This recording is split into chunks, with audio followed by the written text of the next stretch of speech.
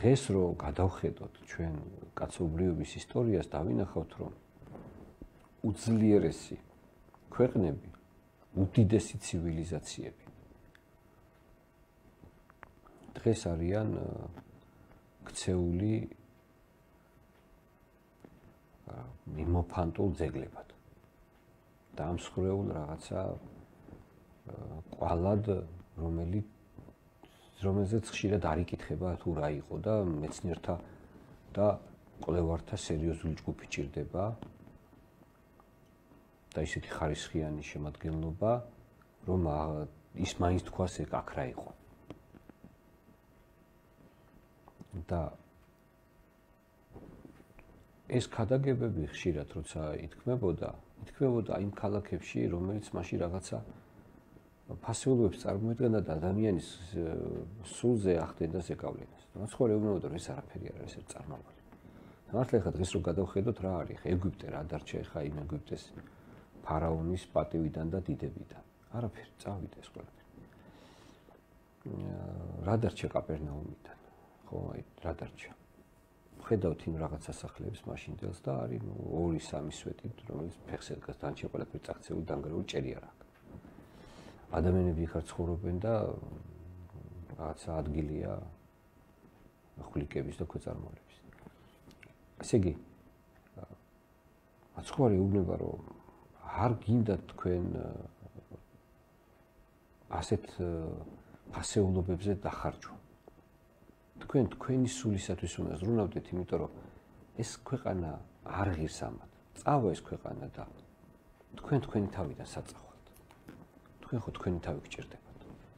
ამიტომ პირველი რაც უნდა გააკეთოთ თქვენ თავზე უნდა დაფიქრდეთ, ვინ ხართ, რა ხართ, საიდან მოდიხართ, ვინ გაგაჩინათ, რისთვის გაგაჩინათ, რატომ ხართ ამ ქვეყანაზე.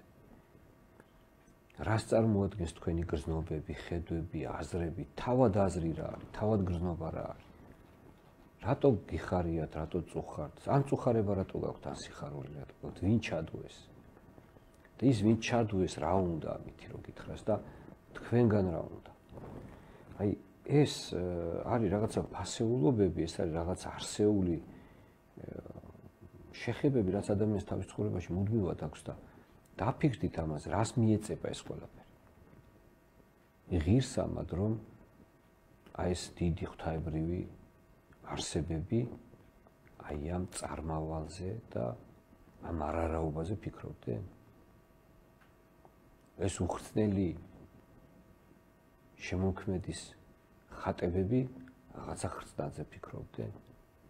აი, რა ხართ, ვინ ხართ, ან რას წარმოადგენთ, არ უნდა აწონოთ, დაწონოთ ეს ყველაფერი. და მაცხოვარი აძლევს ორიენტირს თელ კაცობრიობას. სადაა ჭეშმარიტება? რა გზას დაადგეს? და ყოველას მოუწოდებს მე და ეუბნება რომ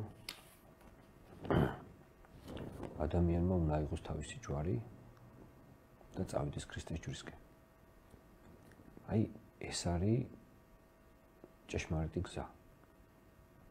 რომ თუ ადამიანი აიღებს თავის ჯვარს და იტყვის, რომ მე ამიერიდან ვიღებ ჯვარს, ანუ რა?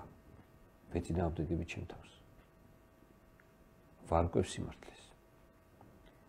ვიწყებ განსჯას, ვიწყებ აზროვნებას. არ ყლაპავ ყველაფერს, რასაც პირჩამდი. არ ვრიაგირებ ყველაფერზე, რაც თვალში და ყურში მოხდება.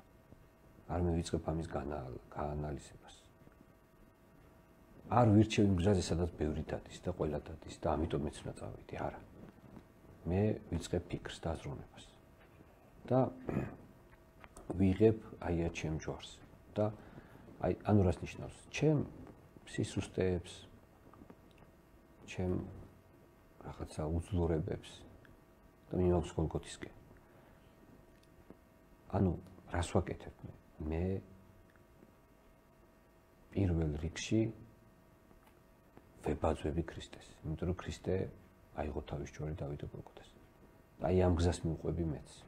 მიუხედავად იმისა რომ შეიძლება დასაცინი გავხდე მიუხედავად იმისა რომ შეიძლება დამცირდე პიროვნულად გამიჭirdეს რა თავარი არის ავიღო ჯვარი და წავიდე გოლგოთისკენ. თავარი არის რომ ავიღო ჩემი ჯვარი. ანუ ჩემი სიკვდილი იმიტომ რომ ჯვარი გახსოვთ იყო სიკვდილის იყო სიკვდილისკენ წასვლა და შევხვდეს სიკვდილს ქრისტეს ჯვრით რომელმაც ძლია სიკვდილი. იმიტომ რომ თუ ადამიანი ქრისტეს ჯვრით შეხვდება სიკვდილს მაშინ ის სიკვდილზე გამოიმორჩებს და ყველაფერი რატომაც დადგა სიკვდილი მაშინ განკარდება და ის გახდება უკთა და მოცხოვრებას პირდაპირ ამბობს რომ ის ვინ ჯვარს აიღებს და შეუდგება მას აი ის არის ქვეყანაზე გამარჯვებული ადამიანი. და ის პიეკი არ ავნებს თავის სულს არამედ შეიძენს ისეთ რამეს რაც აი თელ ქვეყანას არ შეუძლია მას მისცეს. არავის. ეს ის ძალიან საინტერესო მოვლენაა რომ ღმერთმა სიკვდილი დააწესა ქვეყანას. თუ ქრისტეს დრო სიკვდილი არ დაეწესებინა, ღმერთო სიკვდილი არ დაეწესებინა, ადამიანები ნაკლებად დაფიქრდებოდნენ თავის თავს. ნაკლებად დაფიქრდებოდნენ ღმერთზე, ნაკლებად დაფიქრდებოდნენ შედეგებზე. საერთოდ ვერც ნახავდნენ შედეგს, იმიტომ რომ ცოდვის შედეგიო სიკვდილიაო და შედეგი რო არ იქნებოდა თვალწინ, შეფასებაც ადეკვატური იქნებოდა და ითხოვდნენ რომ შესაბამისი იქნებოდა შეფასებას და ითხოვდნენ რომ ნუ არაფერია ცოდვა. არაფერია უსამართლო, არაფერია ბოროტება. ადამიანები გაყვებოდნენ ამ გზას. და სოფლიო გადაიქცეოდა ბოროტებად. ამიტომ ადამიანი როგორც კი ცოდვის გზას დაადგა, მაცხოვრმა წინ დაახვედრა სიკვდილი. და შემდეგ ჩაკეტა სიკვდილი და აა გასასვლელი დატოვა მხოლოდ ჯვრით. სხვა შემთხვევაში ადამიანი ამას ვერ გადალახავს, ვერ დაძლევს და სიკვდილამდეც კი შეიძლება სიკვდილი გაუხდეს თანატრელი. სიკვდილამდეც კი შეიძლება ისეთმა სასწორკვეთილებამ და მწუხარებამ მოიცვას, რომ ყველაფერი რაც არ უნდა ქონდეს, არაფერი არ გახდება მისთვის.